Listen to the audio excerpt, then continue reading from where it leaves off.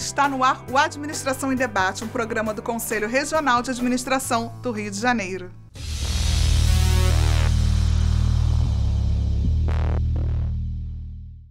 O trabalho do CRARJ na área jurídica e o mercado de capitais são os temas presentes no Administração em Debate de hoje. Veja agora. Bem o CRARJ, os profissionais e estudantes de administração perante a sociedade é a meta principal do setor jurídico do Conselho.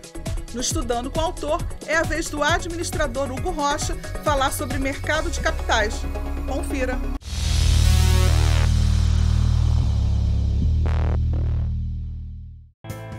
Área jurídica do CRARJ visa atender às demandas do público interno e externo do Conselho. Para isso, precisa sempre estar preparada para receber denúncias, pedidos de aconselhamento e buscar o reconhecimento da administração em todas as esferas. É o que nos explica agora o advogado Marcelo Almeida, chefe do setor.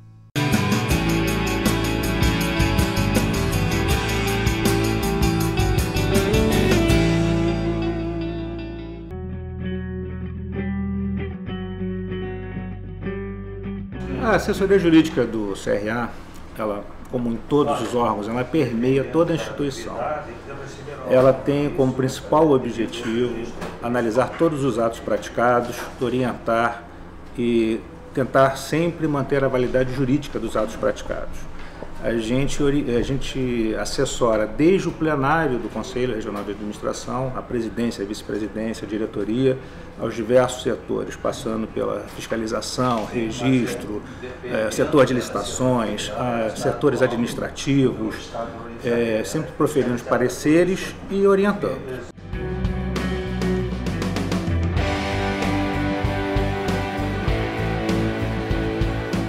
Além do, do, nosso público interno, que foram esses que eu citei, nós também temos o nosso público externo, que são os profissionais registrados que buscam orientações não só com relação à profissão, mas também com relação a atividades profissionais, atividades pessoais, é, por meio de um serviço de orientação sócio-jurídica, que é prestado a todos os profissionais registrados que estão adimplentes com as suas obrigações.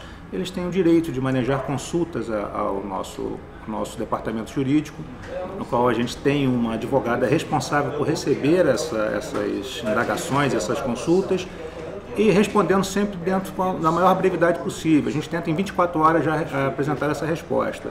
Essa orientação ela, como eu já disse, ela não é voltada exclusivamente para as atividades profissionais, não. Tá? O profissional que tem alguma dúvida de cunho pessoal, uma relação pessoal dele, que acaba reverberando na sua vida profissional, nós respondemos tentando transmitir segurança e validade jurídica nos atos que ele vier a praticar.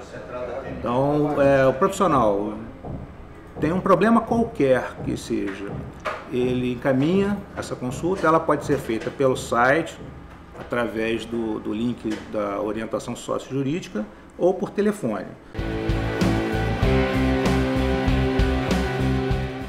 Queria só ressaltar que a fiscalização de concursos não é o objeto principal do Conselho ou da fiscalização do Conselho. Ela é muito mais abrangente. Então, se você tomou conhecimento de algum cargo que é privativo do administrador ou que já são as atividades típicas de administrador, estão sendo ocupado por outros profissionais, essa também é uma fiscalização importante que o Conselho promove. Ela vai, vai até essa empresa ou esse órgão público, vai pedir a informação, comprovado que aquele cargo é típico de administrador, a gente vai pedir a substituição daquele profissional. É, o importante é deixar claro que o CRA ele não faz a reserva de mercado para administrador ele sim fiscaliza, visando a proteção e a defesa da sociedade para que cargos específicos de administrador sejam ocupados por profissionais devidamente habilitados. E aí é lógico, não entra só o administrador, entra todos os profissionais de administração, que por lei são obrigados ao registro junto ao CRARJ. O profissional, ele é o melhor fiscal da sua própria profissão.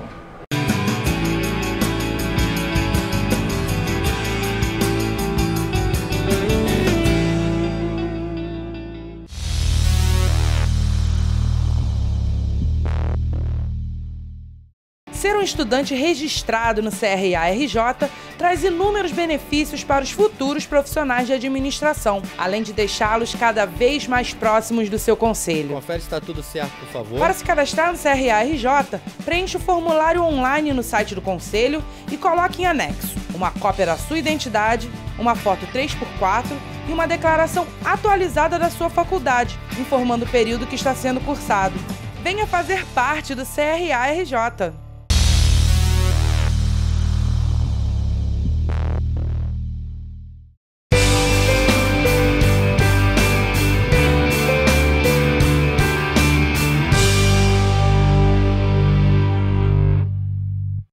Olá, está começando mais um Estudando com o Autor.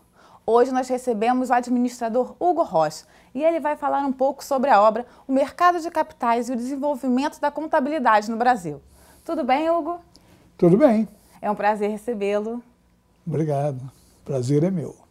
O que os leitores podem esperar do mercado de capitais e o desenvolvimento da contabilidade? É, na realidade, o livro ele conta a história desde que a contabilidade não tinha a, a importância que hoje é dada a ela, até nós chegarmos na, na, nesse processo de, de harmonização, ou seja, você convertir os padrões, né, as práticas contábeis para o mercado de capitais mundial. Na medida em que o Brasil fez isso, ele tornou mais palatável as informações das empresas brasileiras, né, através dos seus balanços, para investidores estrangeiros principalmente. Hugo, quais são as principais características que demonstram o desenvolvimento da contabilidade aqui no Brasil? O desenvolvimento da contabilidade se deu com com o mercado de capitais. E a, a única forma de você é, disseminar o conhecimento sobre a situação das empresas é através das suas demonstrações contábeis. Hugo, tem algum ponto que você gostaria de destacar que você acha que faltou? Então, o que eu destaco é isso, é onde nós estávamos, e isso não foi não foi gerado pela contabilidade. Isso foi gerado pela necessidade de gerir, né? de gerir negócios, seja negócios privados, seja negócios de nações, seja até dentro da nossa casa. Então a contabilidade teve que acompanhar isso, ela ficou muito tempo estagnada. E hoje, com a globalização, a gente diria que a globalização esse é um fenômeno irreversível, né? Então, você sabe que ninguém produz tudo que precisa na quantidade necessária. Então, tem que haver esse intercâmbio de negócios no mundo afora. E aí, para que você possa se entender numa linguagem de negócio, você tem que ter a contabilidade convergida, harmonizada.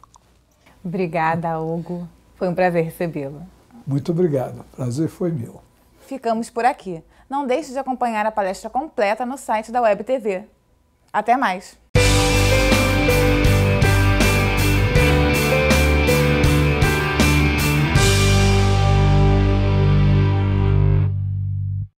O Administração em Debate desta semana fica por aqui. Na próxima semana tem mais. Até lá!